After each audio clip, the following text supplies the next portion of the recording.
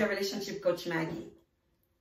Before I start, let me say thank you to each and every one of you who actually took some time from your busy schedule and send me a message letting me know how you feel about the videos that I've been putting out there. It really means a lot to me because my goal is really to share with you information that you need, information that you can use in your own relationships. Well, we all know how difficult it was for me when I did not have someone to help me. That's why I'm making this a priority to put myself out there, share the videos, answer your questions to make sure that you guys do not have to experience what I experienced in my own relationships. Well, we all know how difficult it is to live with someone, to be with someone in relationship. It is also very difficult for us to acknowledge things that we do for ourselves. When somebody, whether it's a friend or family member, does something that is nice, we are so quick to go and cheer them on and tell them, wow, I am so proud of you. And I like what you did. But when we do it, we think it's normal. We do not recognize the small achievements that we make almost on a daily basis. I know it is difficult because we are busy. Many of us are mothers. You know, we have things to do. We go to work. We take care of our kids. We take care of our family. We even take care of our friends. But we still have to make time for ourselves. That is why I'm doing these videos. This is all about self-love reminding each and every one of you how important it is to take some time to love on yourself. So my focus today will be not just loving on ourselves, but how we appreciate the small achievements that we make. Many of us, we go through life, we set goals, we tell ourselves we're going to do some things, and we work hard at it. We get up every day and we give it the best that we can. And all we do is keep trying, you know. We keep at it. We keep giving. But we never stop to say to ourselves, I may not have finished the project yet, but at least I'm halfway done. Or even if I did not finish the, pro the project yet, but at least I started it. We're going to start acknowledging our small accomplishments because that is the path for us to actually achieve bigger success in life. When we are aware of the small steps that we make, we become encouraged to continue to move forward.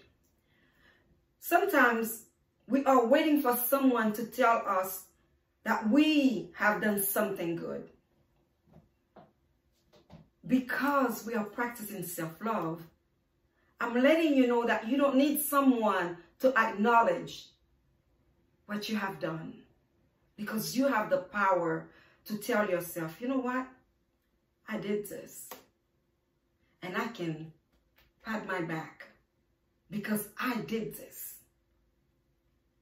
You know you deserve to acknowledge the sacrifice, the effort that you invested in accomplishing this goal or in completing this homework or even finding this new job. We all know how difficult it is for you and for all of us to even take the steps to do these things. So why not? Why not acknowledging the small steps? Because if someone else had done exactly what you did, you would have gone and cheered them up and say, congratulations, I'm so proud of you, I'm happy for you. Yeah, we're going to do it for somebody else. So today, I am challenging you to do it for yourself. I'm challenging you to cheer on yourself. I'm challenging you to congratulate yourself on the small accomplishment that you have made. So we're going to understand this is not about anybody else. This is about us loving on ourselves. This is us putting ourselves first. This is us knowing our value, our worth, acknowledging the work that we've done, that we've invested, and taking pride in it. And patting our back and saying, I did this. There's nothing wrong with that. Actually, by taking the step to do that, you're not only encouraging yourself to do more, but you're letting people around you knowing that you know your worth. Therefore, they need to understand and respect you as well. So let's go, my sisters. Let's go love on ourselves. Let's pat ourselves on our back for the hard work that we have accomplished, for the investment that we've made in society, for the love that we have given to everybody, but most of all, for the sacrifices that we've done for us to be the woman that we are today. So let's not just tune on everybody. Let's start tuning on ourselves as well. I really hope that we will, each one of you who listen to this video will take some time to reflect on the things that you have done, the small achievement that you have made so far, and start loving on yourself. You see, this journey is not about just looking at the end result, the complete result. This journey is acknowledging every step that you make. I really hope that you guys are going to not just listen to the video, but actually apply the things that we have just discussed. Remember, this is your journey. You have one, one shot at this thing called life.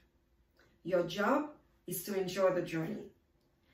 As you're enjoying your journey, remember, go on the website, www.owningmydestiny.com for more videos. Also, reach out to me. Email me at mkanzki at owningmydestiny.com.